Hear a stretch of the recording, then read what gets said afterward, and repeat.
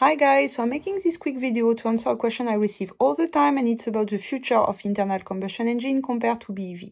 There are tons of ways to make this question and here I'm talking about career development. I'm going to be very straight.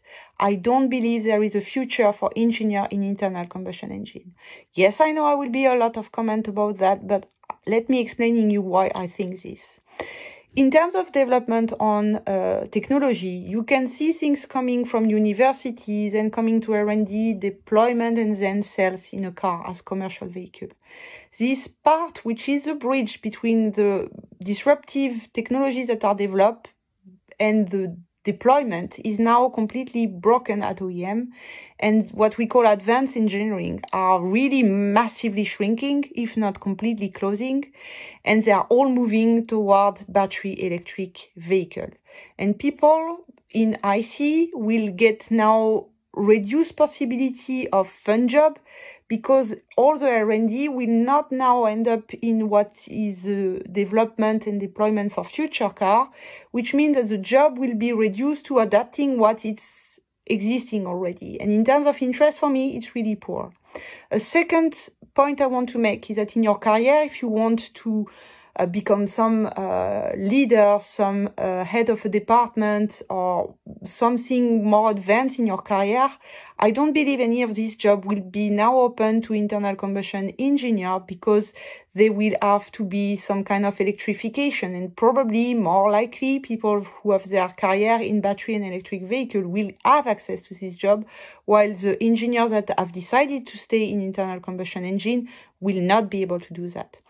Another point is that the amount of people with uh, knowledge and diploma in terms of IC is much more than battery and electric vehicle. So in terms of demand and supply, it's completely unbalanced.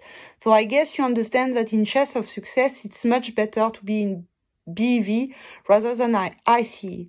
And the last point I want to make is that the more you're waiting, the more you put yourself at risk that if you lose your job, you are completely unable to find a new one because the chance of uh, getting a demand again for IC people are reduced. And again, you are in competition with a lot of people who want the same thing because there is not enough job in this. So again, my advice for your chance of success in automotive industry is to move as soon as possible to BEV.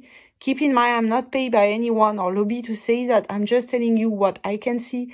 And I really urge you to get knowledge. There are a lot of uh, free access of knowledge of this. I myself edit uh, a free series of cards. You can have a look on my website.